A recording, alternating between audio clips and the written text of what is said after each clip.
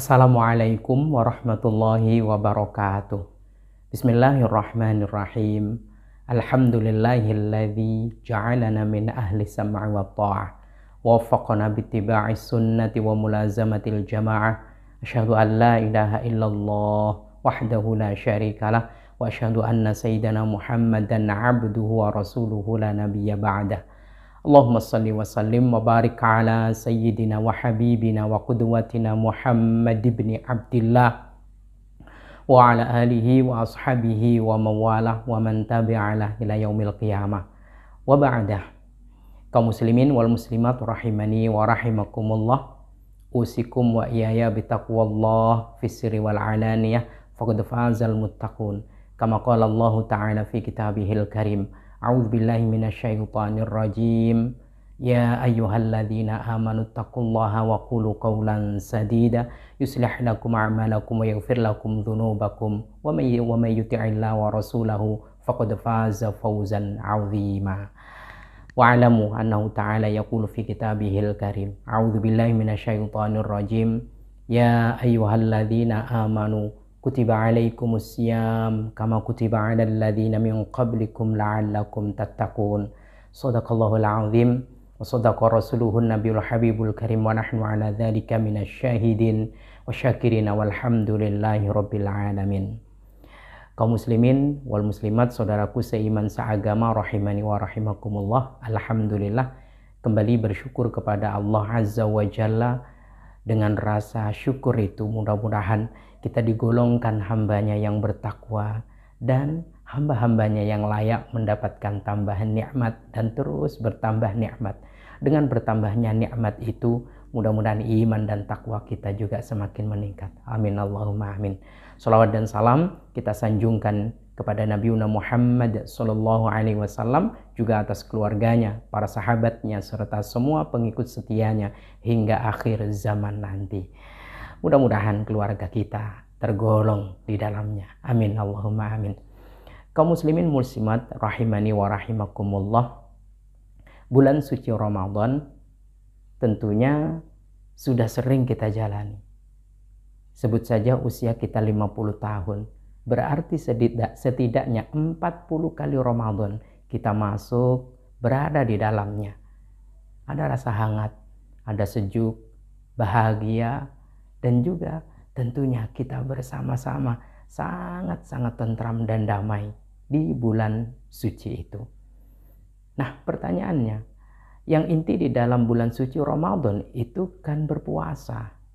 Apakah sepanjang dan sebanyak 40 kali kita memasuki bulan Ramadan, puasa kita sudah berbuat manis, sudah berbuah manis. Sudah memberikan dampak positif pada jiwa dan raga kita. Terlebih menghadirkan hal-hal yang bermanfaat besar dan membahagiakan bagi orang-orang di sekeliling kita. Ya, kalau sekali lagi usia kita 50 tahun dipotong 10 berarti kan 40 kali. Kali ini saya ingin mengajak kita semua untuk mengetahui apa sih buah manis dari ibadah yang kita menahan dahaga, kita menahan lapar. Lebih dari 12 jam. Lisan ini tidak mengunyah. Tenggorokan ini tidak menelan. Lambung ini stop mencerna. Dengan niat nawaitu saumagadin, lalu kemudian sehat jasmani dan rohani yang kita rasakan Sekali lagi apa buah manis dari puasa? Allah Subhanahu wa taala menyebutkan uiddat lil muttaqin di penghujung ayat itu lalu disambung dengan ayat yang berikutnya. Kata uiddat lil muttaqin tentunya selaras dengan tujuan besar dari puasa Ramadan. Sebagaimana ayat yang tadi saya baca ya ayyuhalladzina amanu kutiba alaikumusiyam kama kutiba alal ladzina min qablikum. Ujungnya adalah la'allakum tattaqun. Nah seperti apa profil atau seorang hamba yang merasakan manisnya puasa Ramadan ya puasa Ramadan bukan hanya sekedar nunggu beduk maghrib, bukan.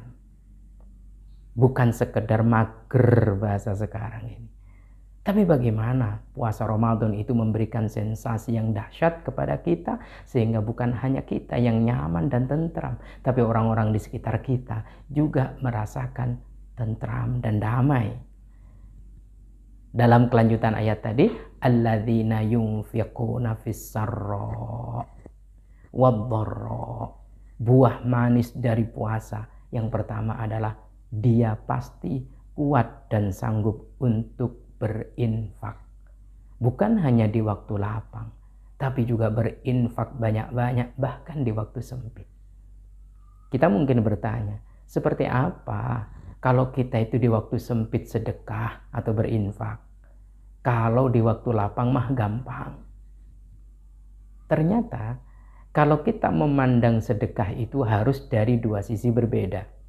Yang pertama dari sisi nilainya. Yang kedua dari sisi prosentasenya. Maka kita ambil contoh, jika seseorang berinfak 10 ribu. Ini bisa jadi besar, bisa jadi kecil. Kenapa dia berinfak 10 ribu? Kita katakan besar oh ternyata hari itu dia mendapatkan rezeki 100 ribu, maka 10 ribu berarti 10 persennya. Ini disebut kecil kalau kita lihat dari sisi persentase. Kalau di hari itu dia mendapatkan rezeki 1 juta, lo kok infaknya cuma 10 ribu. Prosentasenya berapa? Kecil sekali. Tapi kalau dari segi nilai, Mungkin ya, orang yang berinfak 20 ribu itu tampak lebih besar dibandingkan orang yang berinfak 10 ribu. Mari kita renungkan. Kalau yang berinfak 10 ribu, si A ini rezeki hari itu memang 100 ribu, berarti 10 persen. Sedangkan yang berinfak 20 ribu, di hari itu mendapatkan rezeki 1 juta. Berapa persen berarti? cuma 2 persen. Kecil.